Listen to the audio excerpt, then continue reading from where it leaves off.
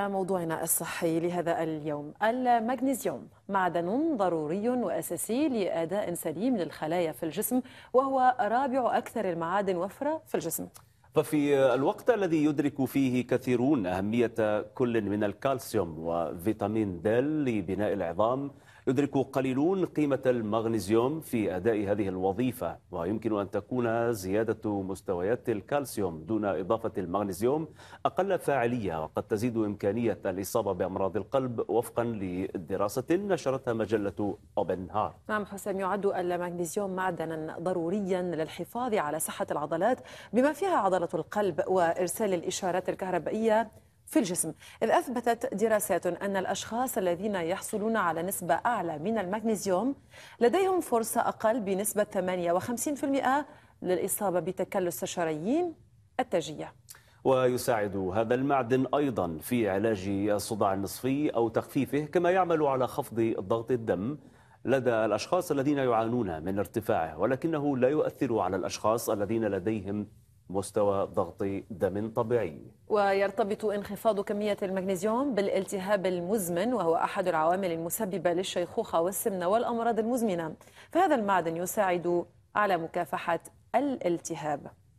وأخيرا فإن لهذا المعدن دورا مهما في استقلاب الكربوهيدرات والجلوكوز لذا يمكن أن يمنع المغنيسيوم خطر الإصابة بمرض السكري وفق عدد من الدراسات.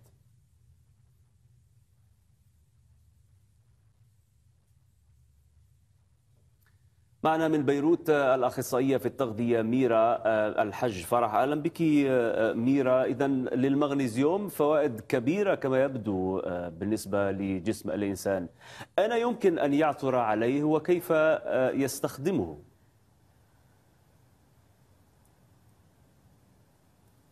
صباح الخير. أهلا وسهلا. لها السؤال سي...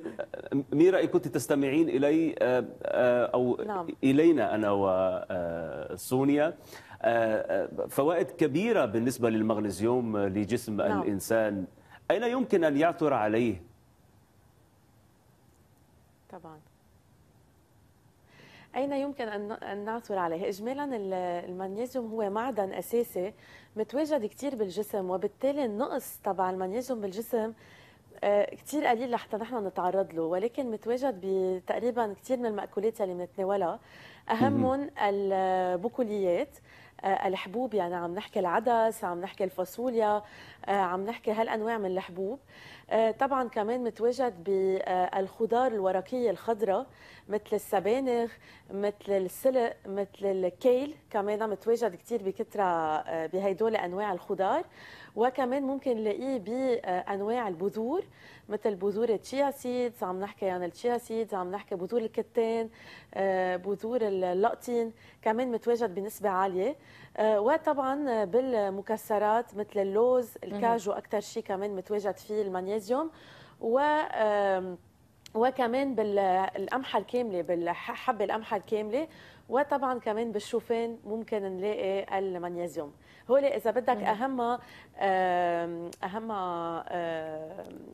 sources يعني أهم مصادر للمغنيسيوم. طيب ميرا آه يعني ما هي الأعراض ال نعم. التي توحي لنا بأن لدينا نقص في المغنيسيوم؟ مثل الفيتامين د مثلا يعني يكون هناك نوع من الخمول والتعب في حال نقص فيتامين D المغنيسيوم ما هي أعراض نقصه؟ نعم اجمالا نقص المغنيسيوم البسيط ما بيسبب أعراض وبالتالي ممكن يقطع ونحن ما ما نشعر فيه.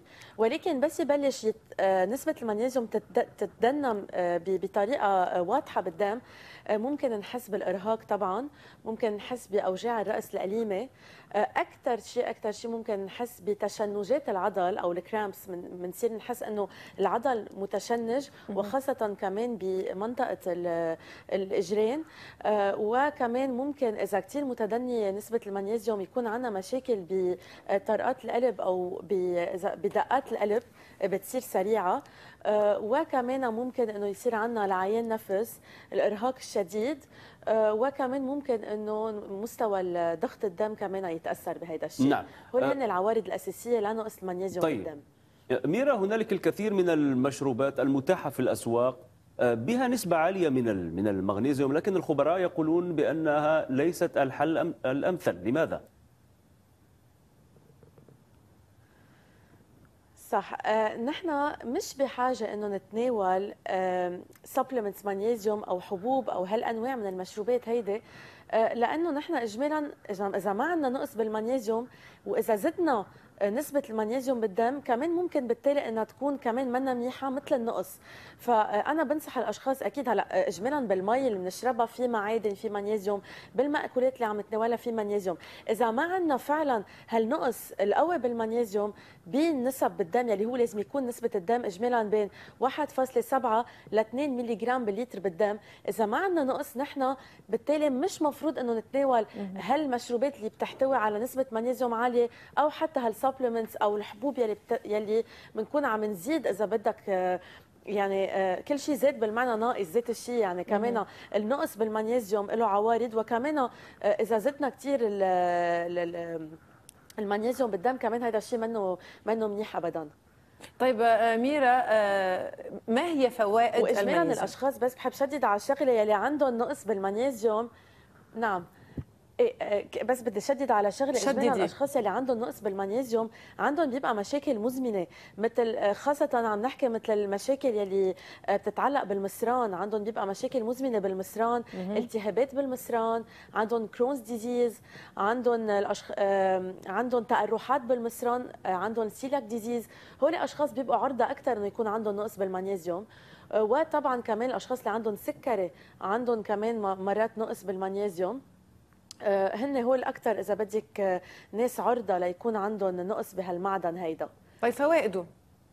فوائده خاصة بالنسبة لمن يعانون من هشاشة العظام. فوائده طبعا آه، أول شيء آه، المغنيسيوم كثير آه، إذا عندنا نقص بالمغنيسيوم ممكن توتا نسبة الكالسيوم ونسبة البوتاسيوم بالدم. يلي هن اثنيناتهم مهمين لصحه العظام ولا ولا صحة القلب. مشان هيك نحن لازم نضلنا محافظين على مستوى مغنيسيوم منيح بالدم لحتى كمان ما ينقص الكالسيوم. هيدي الشغلة. الشغله الثانية من فوائده كثير أكيد المغنيسيوم مفيد لصحة العظام وصحة العضل آه، أكثر شيء. ولصحه العصب العصب بالجسم. يعني عم نحكي ال stress. مش هيك الأشخاص كمان اللي عندهم نقص بمغنيسيوم بيبقوا دائما متشنجين. يعني هول هن أكثر أكثر أكثر فوائد للجسم. وكمان بعد شغلة آه، بي regulate ضغط الدم بالجسم. يعني آه، كمان نسبة البوتاسيوم نسبة المغنيسيوم بتأثر على نسبة البوتاسيوم. فبالتالي إذا نسبة البوتاسيوم كمان منا منيحة ممكن إنه يكون عندنا تدني بضغط الدم يعني أكثر شيء عم نعم. نحكي عن آه، العضل صحة العضل صحة الأعصاب وطبعا كمان القلب طيب هذا بالنسبة للشق الفيزيولوجي من جسم الإنسان ولكن يبدو أن للمغنيزيوم آه، فوائد أيضا في آه، محاربة القلق والاكتئاب وهذه آه، الأعراض هل هذا صحيح؟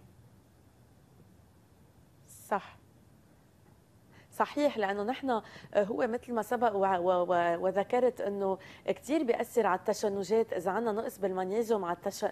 بيصير عندنا تشنجات أكثر بالعضل وبالتالي بيصير عندنا مشاكل أرق بالنوم. يعني مشاكل بالنوم ما بنعود ننام كمان بطريقة صحيحة. فنحن أكيد كل ما نكون محافظين على مستوى معتدل بالدم للمغنيسيوم كل ما بنكون عندنا ستريس أقل يعني عندنا ضغط نفسي أقل كل ما بنكون مرتاحين أقل ما عندنا تعب كل ما بنكون كمان عم ننام بطريقة آه، صحيحة لأنه كمان إذا عندنا كثير تشنجات بالعضل كمان ما بنعود ننام بطريقة يعني أشخاص بيجوا بيقولوا لنا نحن ما عم ننام مزبوط. يعني كمان آه، مستوى المغنيسيوم بالدم كثير بيأثر على هذا الشيء. إذا بدك إذا بدك مثل ما سبق وذكرت على آه، نعم. الصحة وعلى الرياحة النفسية طبعا أكيد. شكرا جزيلا لك من بيروت الأخصائية في التغذية ميرا الحاج فرح.